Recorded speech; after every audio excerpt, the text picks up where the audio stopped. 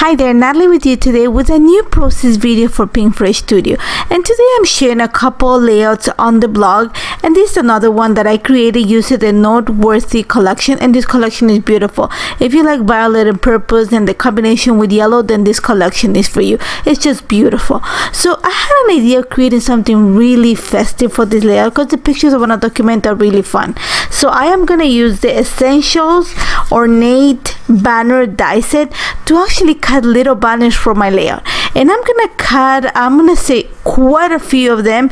Uh, you're gonna see right now that I'm using my little mini die cutting machine. And I'm gonna cut um, I'm gonna say around four or uh, four uh, four to six banners out of uh, the all the goodness paper right now. Just be you happy thoughts and enchanted bloom. And I'm gonna make sure that I'm just gonna cut the small banner and I want to add the little detail.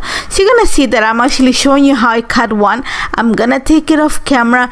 And literally I took me not too long because it doesn't take long but it's a two-step process because you have first have to cut the banner and then you gotta cut the little detail at the bottom of the banner so you're gonna see right now like again like I said I took it off camera and when I cut I'm gonna say around yeah around six or seven banners out of each one of the papers.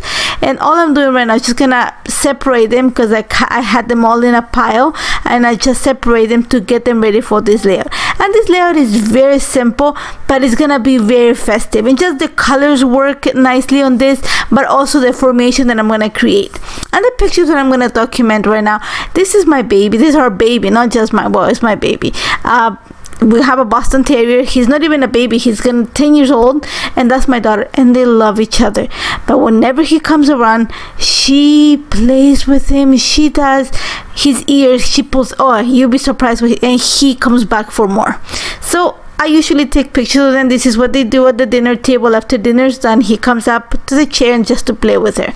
So all I'm doing right now is all those banners that I created. I am actually gonna create a, a triangle. Think of it. I'm gonna just kind of create a chevron, a triangle. Um, think of it as a banner hanging from uh, the top of my layout I don't know how to explain it to you. It's just it's gonna form a triangle. And for that I'm just gonna layer the banners so that they create that formation and I'm just gonna play with the patterns. And that's why I cut I'm gonna use mostly the B sides of the patterns because they're more of a plainer uh, pattern. They don't have that much of um of a design so it's it's easier on the eye in a way because I'm combining all the colors. And you're gonna see how easily this comes together. I'm just I started with the center banner which is I'm gonna make sure that those blue are the ones that baby blue kind of grayish tone are the ones that are on the center and then I'm gonna work the angle from there.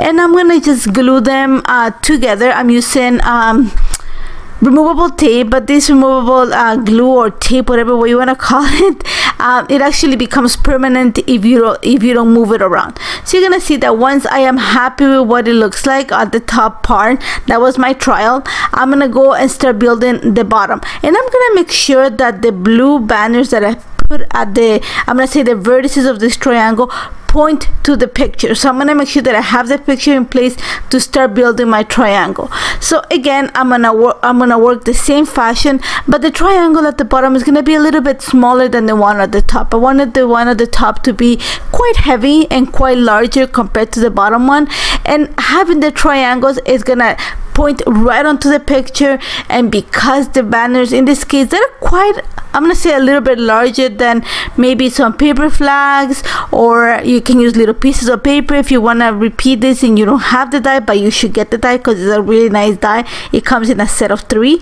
I'm just saying enabler but this is a really nice going back to the banners. Because they're quite larger they're gonna take a lot of the space of the real estate of your page without making it feel heavy. So it's gonna take very little for you to embellish the page.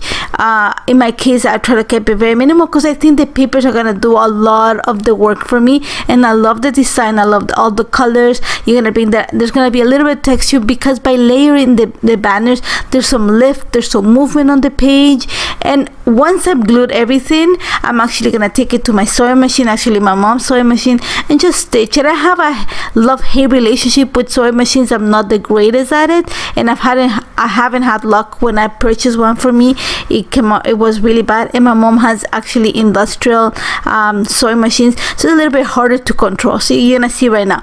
And the way I actually um, stitched this was a little bit of purple at the beginning and then it ripped. So then I switched to white um, embroidery and floss. So you're gonna see that you see a little peak of purple at the bottom? And I'm okay with that because it actually there's quite a bit of the violet purple in the layout so you're gonna see right now I'm just securing some of the um, banners.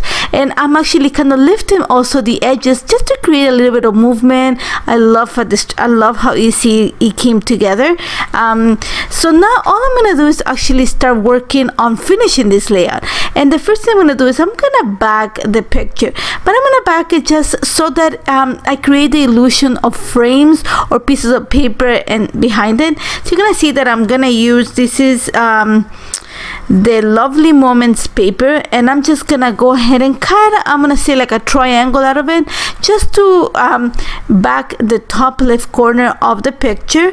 And then I'm gonna use uh, what I'm using for the bottom right corner of the picture is one of the journaling tags where you have all the journals so I had this one that looks like a pocket is that yellow checker that I already have in the banners and I, I also cut one of the sentiments or one of the cut aparts from I think it's called Lovely. No, it's not Lovely Moments. Happy Thoughts paper is the one that has all the cutouts, and there was one that said Lovely Moments. So I'm just gonna kind of extend my um, cluster towards the right with that.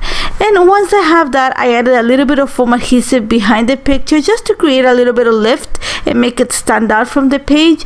Uh, once I have that I glue it onto the center of the page and I'm gonna start working on the title because I already had it in my brain. So the title is gonna be love and Gabi. My daughter's name is Gabrielle and we call her Gabi. So literally the perfect title love and my daughter that's there's no more to say. So i'm using the puffy stickers for that. The word love comes in the puffy frame sticker. And then i'm going to use the two sets of uh, alphas. I'm using the mini ones to spell the word and and i make sure that i picked all the light blue colors. And for the my daughter's name gabi i want to try to get a little bit of the yellow and some of the violet purple uh, on the gabi. I don't want to bring so much green or more blue because i have enough already on the layout so once I have that I'm gonna bring that camera says we just click and that's from the mixed embellishment pack. And I'm just bringing a few of the cardstock stickers and um, and then I'm gonna bring some hearts and these hearts are actually from the mix 2 or the mix 1 I still have a sheet of them. Uh, this is like one of my most precious uh, stuff in my stash. So I still have a uh, I've already gone through two packs of that this is my third pack. Like I said I when I like something I stash it for later use and that's one of them.